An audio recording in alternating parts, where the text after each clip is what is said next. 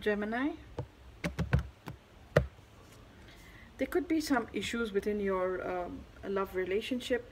There could be some sort of a separation as well or an ending of a relationship. You may not be feeling in your element. You could be dealing with a Capricorn, Taurus, or Virgo or a fellow, fellow Gemini and they're being very fickle minded and not grounded and greedy and you know just focusing on material resources. Some of you could be changing your status from uh, single to couple so that's a good thing.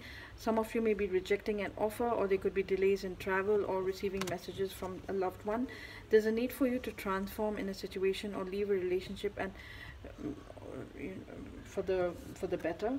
Your love oracle says calling in your soulmate your prayers affirmations and visualizations help bring you together you attract romantic love by enjoying this moment fully for some. And for some you have known each other from a past life